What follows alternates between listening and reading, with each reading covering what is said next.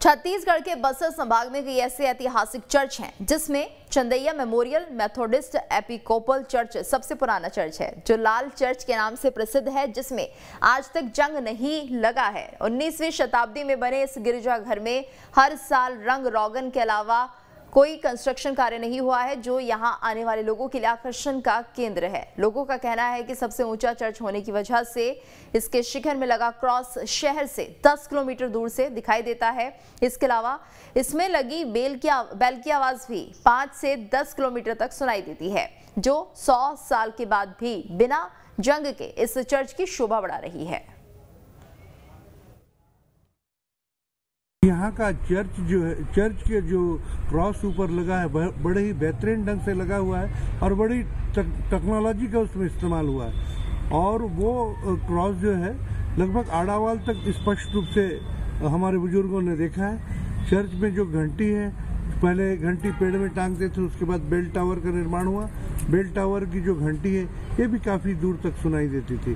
घंटी का विशेष महत्व है, चर्च में तीन घंटी लगती है, तीसरी घंटी में चर्च प्रारंभ होता है, और उसके अनुरूप फिर लोग यहाँ आते हैं। जशपुर के कुनकुनी में एशिया के दूसरे सबसे बड़े चर्च में धूमधाम से क्रिसमस का पर्व मनाया गया। इसे रोजरी की महारानी के नाम से जाना जाता है। इस चर्च की खासियत है कि यहाँ एक साथ दस हज़ार लोग एक साथ प्रार्थना कर सकते हैं।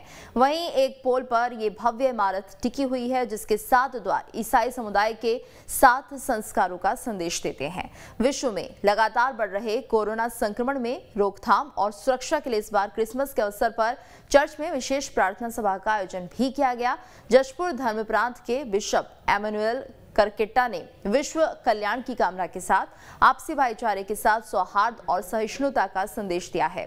इस अवसर पर चर्च को सजाया गया। वहीं कई झांकियाँ बनाई गई थी, जो लोगों के आकर्षण का प्रमुख केंद्र रही।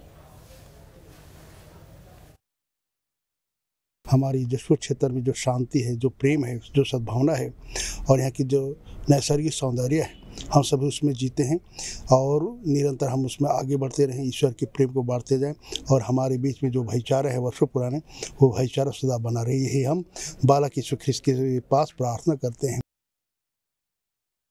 बालक यीशु ख्रिस्त के जन्म के अवसर पर उन्हें एक संदेश देंगे कि हम परिवार में ईश्वरीय प्रेम को ईश्वरीय भाईचारा को, बालक यीशु के प्रेम और शांति को बांटेंगे और इस अवसर पर हम अपने ही भाइयों के बीच में केवल नहीं, सभी धर्मावलंबियों के बीच में मुसलमान, हिंदू, जैन, फारसी सभी की भाइयों के भाई बहनों के बीच में हम बालक यीशु क्रिस्त के प्रेम और शांति को बांटने जा रहे हैं और हम आशा करते हैं कि हम सभी कोई एक भाई बहन है, ईश्वर एक है, हम सबों के लिए यही संदेश देते हैं।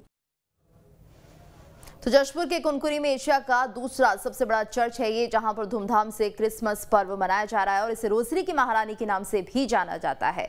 इस चर्च की खास बात यह है कि यहाँ पर एक साथ दस हज़ार लोग प्रार्थना कर सकते हैं। वहीं एक पोल पर यह भव्य इमारत टिकी हुई है, जिसके सात द्वार ईसाई समुदाय के सात संस्कारों का संदेश भी देते हैं। विश्व में लगातार जिस तरह से कोविड फैल रहा है और सुरक्षा के लिए इस बार क्रिसमस के अवसर पर विशेष प्रार्थना का भी आयोजन किया गया। जशपुर धर्म प्रांत के बिशप एमेनुअल ने विश्व कल्याण की कामना के साथ आपसी भाईचारे के साथ सौहार्द और सहिष्णुता का संदेश दिया और इस अवसर पर चर्च को सजाया गया है। वहीं कई झांकियाँ भी बनाई गई हैं, जो कि लोगों के आकर्षण का प्रमुख केंद्र भी बन रही हैं।